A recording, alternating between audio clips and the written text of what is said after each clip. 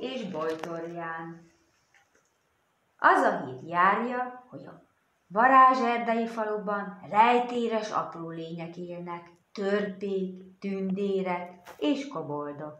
Ezek a lények szurdokokban, a fák ágai közt vagy a nagy gombákban laknak. Mindegyiküknek van kedvenc időtöltése. A koboldok kártyáznak vagy bukfenceznek. A tündérek tereferélnek, az ide és ide-oda röbdösnek. A törpék szívesen főznek, terveznek és építenek. Az erdő mágikus lakóit rossz gyerekek nem láthatják, csak a tiszta szívű emberek előtt mutatkozhatnak. Amikor egy állatkölyök megszületik, az összes tündér oda sereglik köré, hogy megcsodálja, megcirógassa, színek, a fények csodálatos kavalkájával ajándékozza meg, mindegyik tündér más-más fénycsíkot varázsol, szerpentineket, csillagocskákat, pici pillangókat, sejemszálakat. Bojtorján a törpe már 153 éves volt. Magas kora miatt őt tartották a falu legbölcsebb lakójának. Mégis gyakran megfeledkezett, hol erről, hol arról. Néha el is tévedt. Lulunak, a két tündérnek jutott a feladat, hogy szomszéd szemmel tartja, és ha a helyzet úgy kívánja, segítsen neki. Egy nap Bojtorján elhatározta, hogy tesz egy nagy sétát. Kíváncsi volt, hogy a varázserdőn túl van-e szeder és málna. A törpék örömmel gyűjtik össze az erdei gyümölcsöket, és finom lekvárt készítenek belőlük.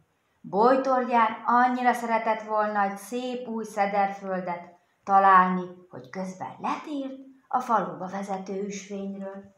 És vala, valóban egy helyen ahol ezelőtt soha nem járt, boltorján rengeteg szedret talált, csak arra vártak, hogy leszedje őket. Ekkor azonban boltorján rádöbbent, hogy eltévedt. Nem tudta, hogyan juthatna haza szekeréért, pedig kár lett volna otthagyni azt a sok jót.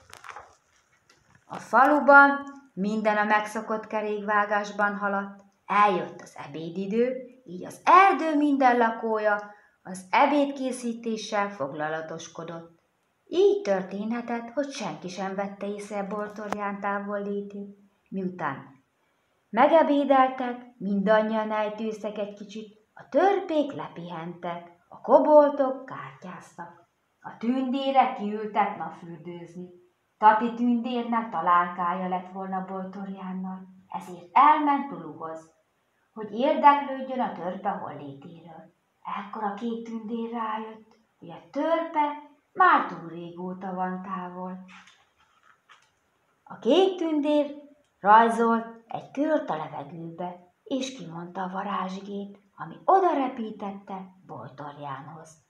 Ó, Lulu, drága barátnőm, kiáltotta a törpe. Gyere, Bortorján, ide, ha, ideje hazatérni, mondta neki Lulu.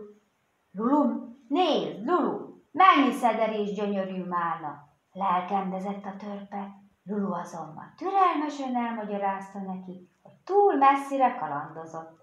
Felajánlotta, hogy megmutatja a legrövidebb hazavezető utat.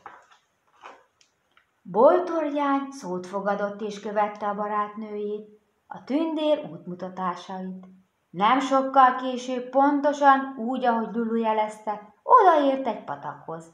A pataknál találkozott a szép Denize tündérrel, és egy vidáman horgászó koboldokkal.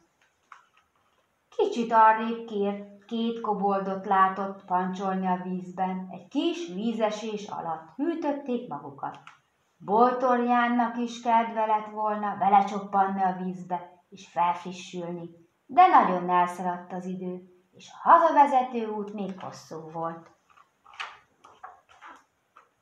Bojtorján talált egy katicát, amelyik nem tudott repülni, mert csupa víz volt. A törpe megszárigatta, és segített neki a levegőbe emelkedni.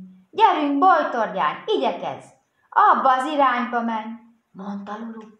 A patak egy tavacskába omlott, ahol egy béka és egy jó pofa tücsök épp egy koboldal beszélgetett. Ennem kell valamit, különben elájulok, gondolta a kis törpe. Így hát letelepedett egy eper-eper bokor tövébe. Rögtön neki is látott az epernek. Bojtorján már hajnalóta úton volt, úgyhogy már alig várta, hogy végre hazaérjen. Végül meglátott néhány házikót, de az ő faluja az erdő másik oldalán volt. Most nyugat felé kell mennem, kérdezte a törpe. Igen, Bojtornyány, menj arra, amerre a nap nyugszik, felelte Lulu. Kicsit később a törpe megállt. Olyan fáradt vagyok, nem bírok tovább menni, mondta a tündérnek. Jól van, ide hívom Tekit, majd ő hazavisz. Ahogy lassacskán közeledtek a falu közepéhez, egyre több házikót láttak. Az erdőlakók száma is veddő, az erdőlakók szorgalmasak, és békében élnek egymással. Aki csak észrevette boltorján, szeretettel üdvözölte. Heuréka! kiáltott fel Bojtorján, amikor odaért a falu közepére. Igaz, hogy kedvére való volt az egész napos kóborlás, és szívesen utazott teki hátán is.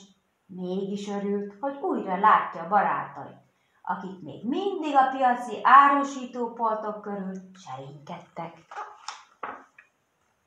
Lulu biztos akart lenni benne, hogy jó öreg törpe tényleg hazamegy, ezért egy puha moha, moha tetején ülve várt a boltorján, közvetlenül a háza mellett.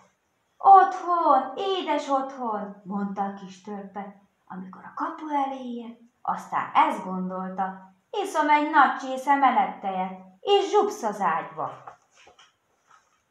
Másnap reggel a varázserdő minden lakója készen állt, hogy elkezdjen egy újabb fantasztikus napot.